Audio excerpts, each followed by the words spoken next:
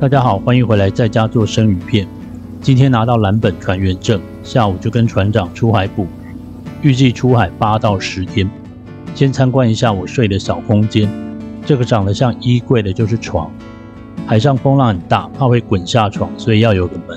后面是引擎室，楼梯爬上去是瞭望台。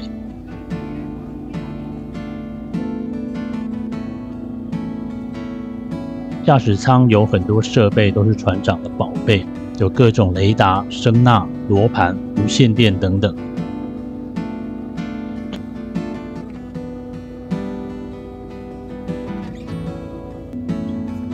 出发前先开到冰店买串冰，甲板下的船舱全都有装冷冻设备，但是还是需要碎冰，可以快速的给鱼降温。装箱保存的时候，细缝也要用碎冰来缓冲。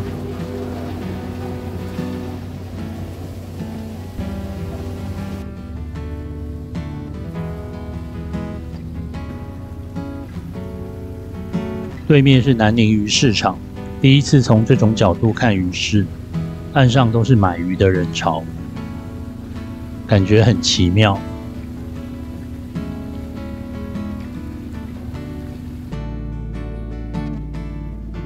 出海是高风险产业，船长从小到大见过各种意外，所以每次出港前都会做简单的祈福，希望老天爷赏口饭吃，保持对大海的敬畏，才能平安的回来。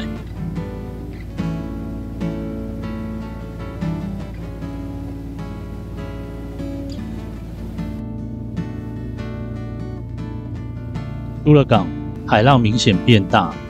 船长说：“这几天都是好天气，很适合新手小白。渔船的速度不快，在前往目标渔场途中，船长顺便做拖钓，就是用大台的电动卷线机放长线，用假饵一路拖在船的后面，吸引掠食性的鱼咬上来，一次放五六个钩子，愿者上钩加减钓。”经过粉鸟临时捕获石桥一尾，做脑角，眼塞放血，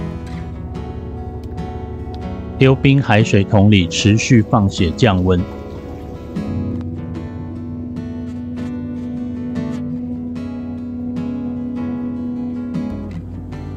还有抓到少量的煎鱼。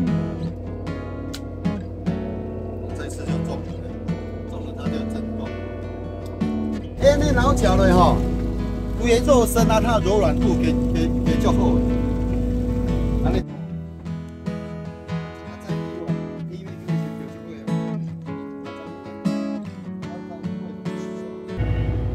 傍晚之后，我就逐渐母汤了，开始晕船。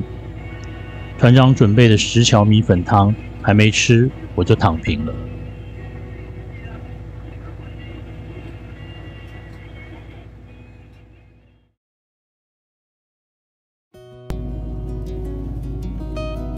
第二天早上六点，船长早早就开始脱钓。他说清晨是鱼索尔医院比较高的时候，有开始钓到一些小的黄鳍尾，一公斤到两公斤之间，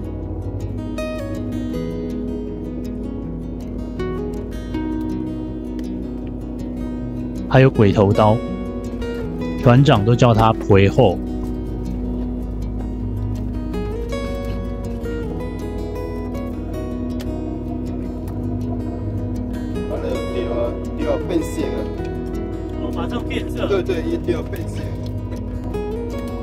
挠脚放血，丢冰桶，一气呵成。因为捕获黄鳍尾身上有伤口，可能下面有别种鱼在偷咬，船长决定立刻放两盒延绳钓的钓组下去。菲律宾籍的船员在船尾作业。金色的阳光洒在海面，很漂亮。此时的大海对我很友善，无风也无浪。过了一小时，拉起延绳钓的钓组来看，有钓到几尾深科的鱼，两尾小的柴竿。一百多个钩子下去，只有十尾鱼不到。感觉这里底栖性的鱼不多。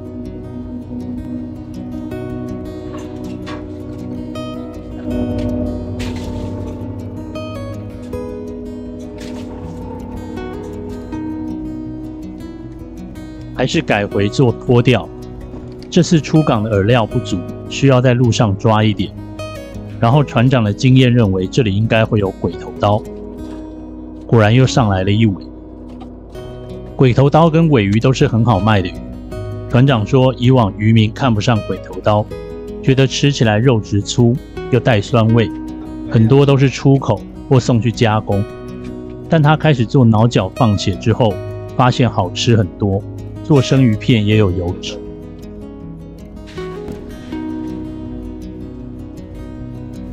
看前方的海面，我们遇到此行最大的惊喜：大群的海鸟在水面上吃小鱼，因为小鱼被水底的大鱼追到水表来。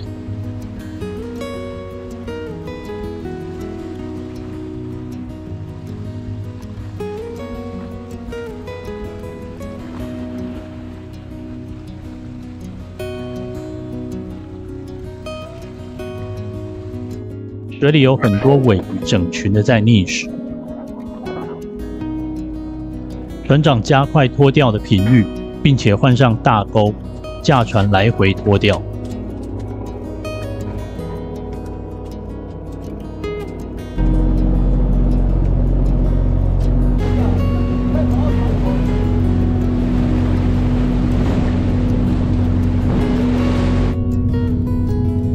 我爬到瞭望台上拍摄。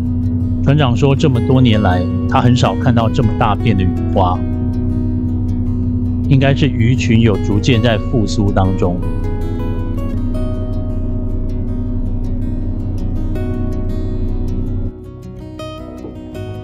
船员在船尾直接用手脱掉，感觉很爽。假饵丢下去，从鱼花旁边经过，就有鱼上钩。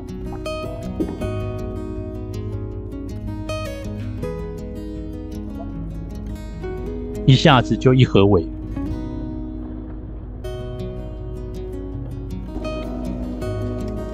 换上大钩就捕到大的鬼头刀，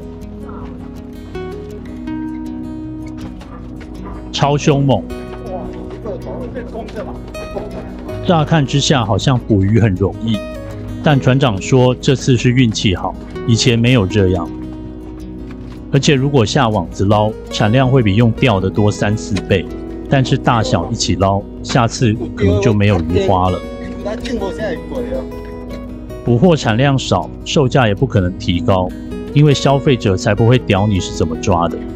不奢侈的海鲜，背后可能就代表着不环保、不永续，或者血汗渔业。电卷卷不起来，太大只了。对，要手卷了。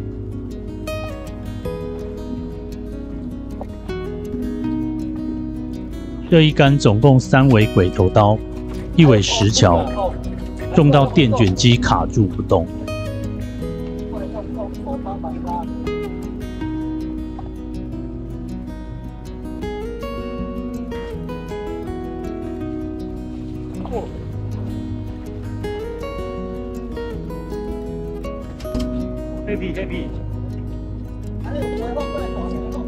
船长用的挠脚枪是我请朋友从纽西兰买的寄回来的，在摇晃的船上，光滑的鱼体很难实施挠脚。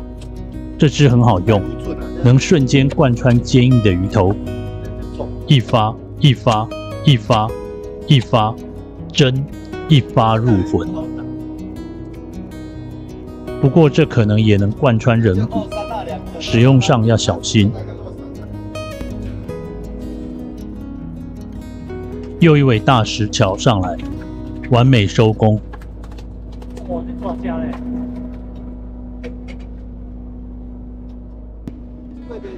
中午很热，就停止作业。刚刚捕到的鱼用海水冰冰镇，下午就整理渔具，傍晚再移入船舱内。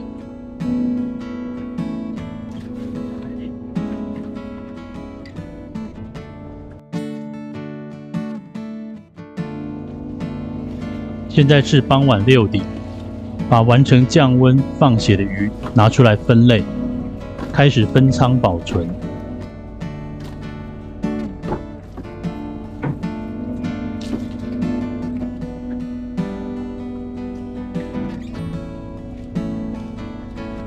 直条用塑胶袋包好，避免亮皮磨损，影响卖相。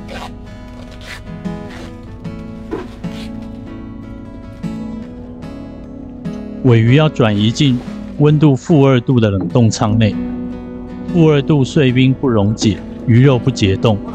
船长多年的总结经验，保存冰鲜鱼最佳的做法：一层碎冰，一层鱼。保持鱼体的僵直状态跟鲜度。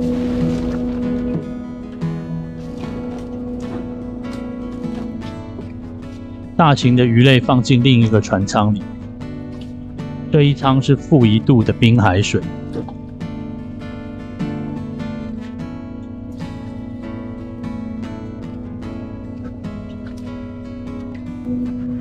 石桥也放进去，这叫做水冻法。它这个是冰水，对对，冰水，海水，海水冰的，我们就卡水冻。哦，啊，它是温度在负一点五，一点五，啊，冷冻的，冷冻管下面把它冷却，啊，然后然后有温控，就把它温度温度设定，像说不是冰沙油的话，就超在零下一点五度。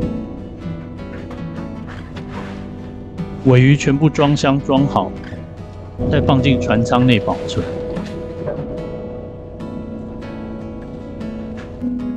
这里的煎鱼是做饵料用，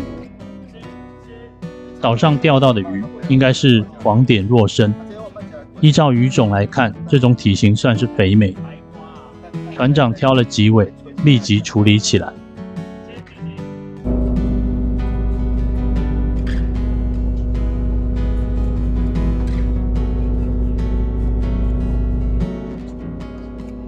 直接用剪刀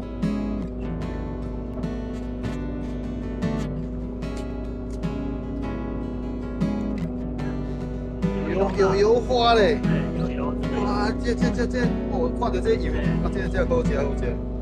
哎呀，去除血核，一口气杀三尾，其他的分给船员吃。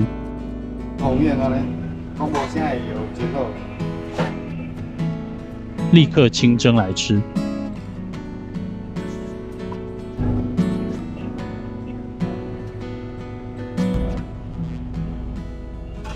这一次我确认了，没有放血或熟成的鱼，不见得会特别好吃。